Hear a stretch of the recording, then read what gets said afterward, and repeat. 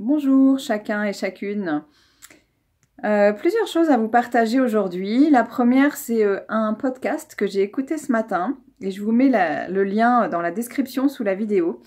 Euh, c'est un podcast de Thierry Casasnovas du, du site Régénère.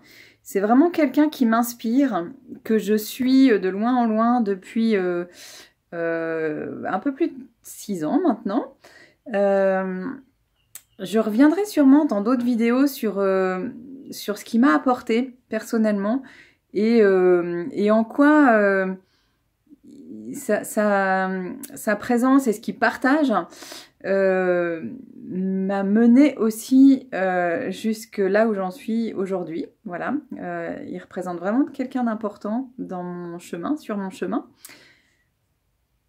La deuxième chose que je voulais partager, c'est ma gratitude pour euh, la vie, pour euh, les personnes qui se sont manifestées euh, ce week-end et pour moi aussi d'avoir osé faire des demandes.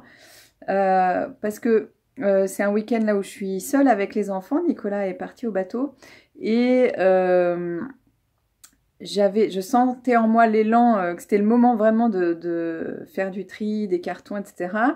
Et euh, bah, avec les enfants, c'est plus compliqué que quand je suis seule parce que je suis souvent sollicitée. Euh, donc j'ai osé demander à une amie si, euh, si elle pouvait les prendre et, et, en fait sa réponse a, a été au-delà de mes espérances puisque du coup elle a proposé vraiment qu'ils passent toute la journée d'aujourd'hui chez elle. ils sont allés se balader, ils sont allés à la bibliothèque, etc. Enfin voilà, donc je sais que eux ont eu un, un moment agréable.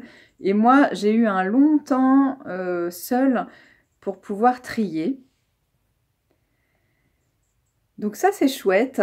Et, euh, et, demain, ça risque de se reproduire euh, parce que j'ai encore une personne qui passe à la maison et qui va probablement emmener les enfants se balader un moment. Donc je pourrais vraiment utiliser ce temps-là pour avancer dans le tri. Donc derrière moi, là, il y a quelques cartons de choses que je vais garder, que je vais mettre dans un garde-meuble. Euh, il s'agit des photos, des, voilà, des souvenirs photos que je suis pas prête à, à, laisser euh, partir, voilà, mais euh, qui vont pas aller dans la tiny non plus. Donc ça va aller dans un garde-meuble et quand, quand on voudra, on pourra venir chercher un album pour le regarder. Et la troisième chose que je voulais partager, c'est euh, l'état émotionnel qui accompagne ce tri, parce que euh, vraiment j'étais joyeuse et enthousiaste ce matin à me dire ouais j'ai la journée, euh, j'ai envie de le faire, allons-y, super.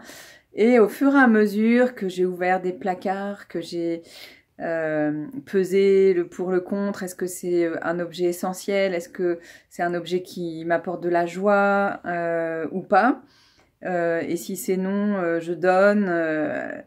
Euh, voilà, j'ai fait des, sacs euh, pour emmener euh, à Emmaüs.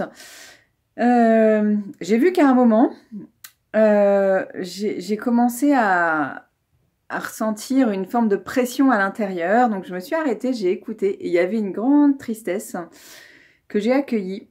Et il s'est mis à pleuvoir. Alors je sais pas si c'est la pluie qui a stimulé ma tristesse ou l'inverse. Je suis pas sûre d'avoir encore le pouvoir d'influencer la météo.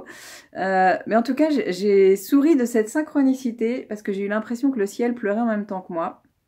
Euh, ça m'a fait me sentir moins seule. Voilà, donc je continue le tri et à demain pour la suite.